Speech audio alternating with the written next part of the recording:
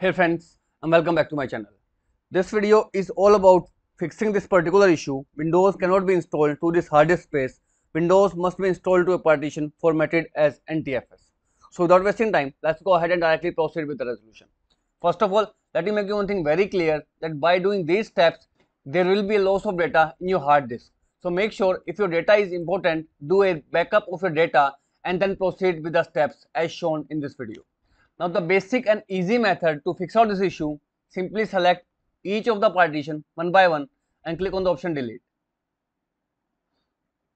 You need to delete all the partition one by one so that the last partition that is left is unallocated space.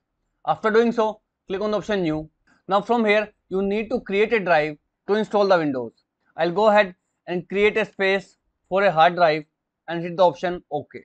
After creating this particular hard drive space, simply click on the next button and this will completely fix out your issue. After installing Windows, you can create another drive using this unallocated space. Now if this method failed to work out, you need to first of all close the setup. Now at this point of time, you need to press Shift plus F10 key. Now type here diskpart and hit enter key. Now type list disk and hit enter key again. Now one more thing friends, make sure while installing the Windows, you unplug all the external hard drive, SSD or any kind of USB drive so that you will not format or accidentally lose the data from that particular drive. Now after unplugging all the drives, the only disk which is visible is disk 0. So type in select disk 0 and disk 0 is the disk in which you are going to install the windows. Now type here list partition and hit the enter key.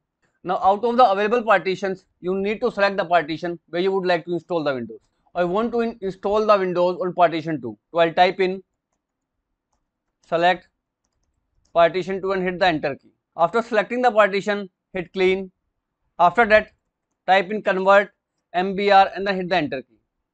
Once the disk is successfully converted to MBR, go ahead and install your Windows and again the issue will be fixed. If this also failed to work out, you need to create a new bootable USB using a Rufus. So I'll go ahead and teach you how to do that open up your web browser and from here scroll down and click on this Rufus portable version to download the Rufus into your PC. Once downloaded, open the exe file to run the Rufus into your PC. Now insert your pen drive and click on the option select to choose your ISO file. My ISO file is in D drive, Windows, Windows 10. Now while creating bootable USB from a partition style, you need to choose the option MBR. Then click on the option Start. After creating bootable USB using the MBR partition style, reinstall your Windows and this will completely fix issue. So that's all about it friends. If this video works out for you, I request you to please click on subscribe button and turn on the bell notification icon to continue showing updates from my channel. Thank you so much friends. Thank you for watching.